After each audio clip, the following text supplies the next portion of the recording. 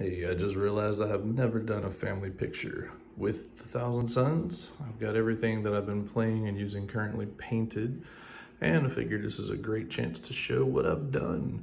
Um, over here on the right-hand side, we've got the Horus Heresy Magnus, Big Bad. Uh, we've got a couple of the Automata.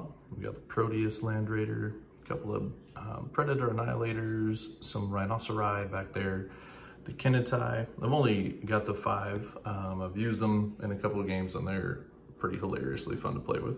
Got the good old Ahriman, got the Assault Squad here, and then starting back with Ahriman and going to the left is all the stuff that I have that makes them play or is allowable in the 40k world, and that's also been loads of fun.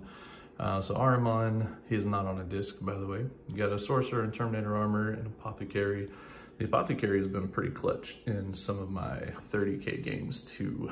Is a, an Apothecary, it's the consul upgrade, um, but he's been awesome because as a, trying to remember if it's a Centurion or I think it's a Centurion consul upgrade in Cataphractii, he is allowed to run around with the Terminators and a squad of those guys.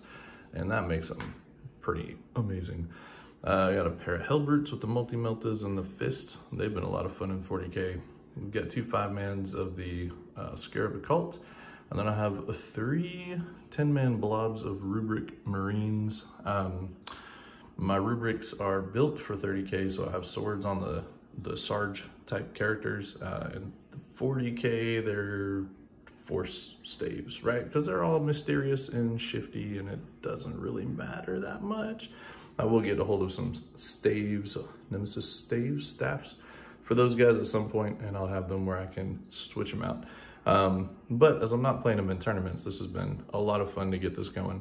And um, yeah, hopefully we'll start making some battle reports with these guys soon too, and you can appreciate all of that in the future. But just wanted to show them off. I've never actually gotten them all out, set them up, and done a quote unquote family photo of the Crimson Guard, if I'm playing the 40k version, or of the Thousand Sons, and Magnus, who did nothing wrong.